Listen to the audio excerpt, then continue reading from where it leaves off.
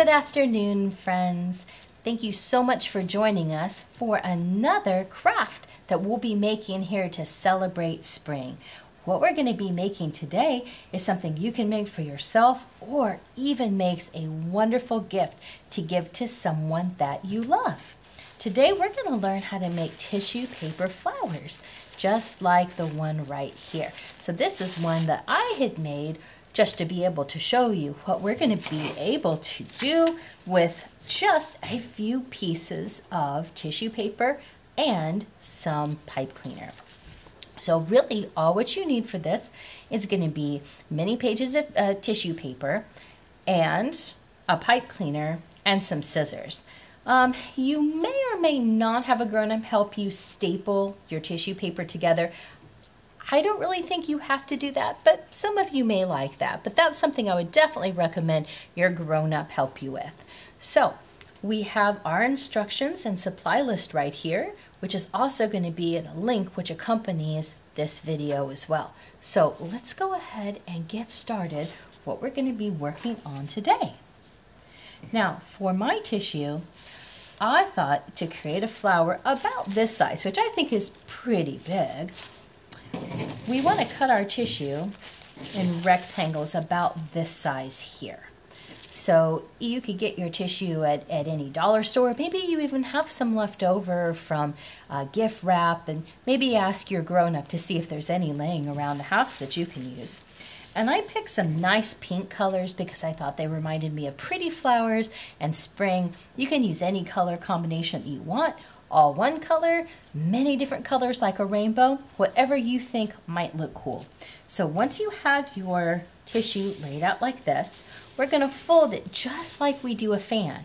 If any of you made a fan before? Well, if you have, this is going to be pretty much like the same thing. So we're just going to fold it like this and just do a back and forth.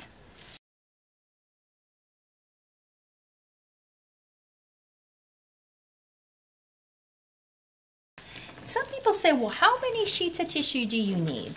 I would say probably anywhere between 8 and 12 would be the best.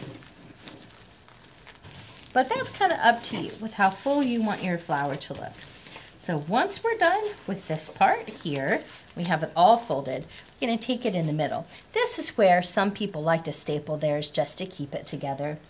We won't worry about that so much today. And instead, we're going to take our pipe cleaner and wrap it around the middle just like this, nice and tight, just like we would if we were tying our shoes. I'm just gonna wrap it around, make it nice and secure, and then tuck that little sharp end away. We're gonna keep this part out like that. And now, all we need to do is kind of spread this out just a little bit. Once again, almost like we would be doing it was a fan. And now all we're going to do is pull our pieces apart just like this.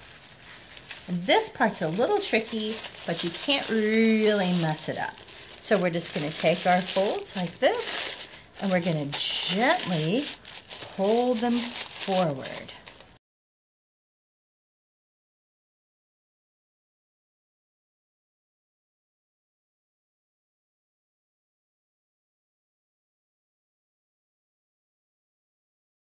I can see our pretty pink flower coming to shape already. What do you think?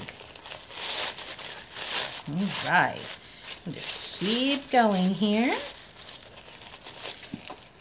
until the end. And like I said, you can use this. See, no big deal if it rips. Just like that. You can make this for friends, for gifts, or you can even use this to decorate your own room. It's so nice that we have spring coming.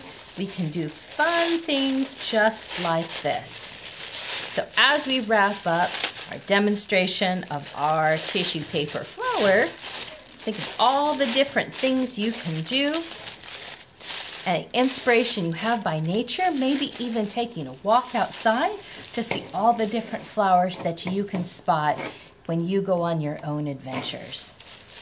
And for this, we'll just continue doing the same thing on the other side. You can hold it up just like this. So wish you very well. Have fun creating your own wonderful treasures, and we hope to see you again soon here. As always, subscribe to our YouTube channels so that you can make these crafts as well as all the other wonderful programming that the Waco McLennan County Public Library offers. Goodbye, friends. Happy spring.